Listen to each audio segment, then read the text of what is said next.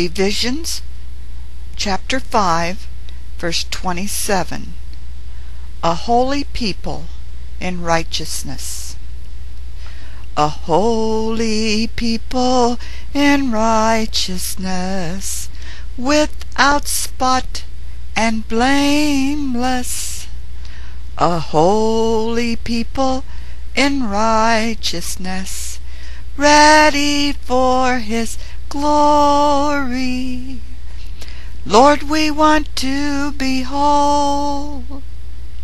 Lord, we want to be pure.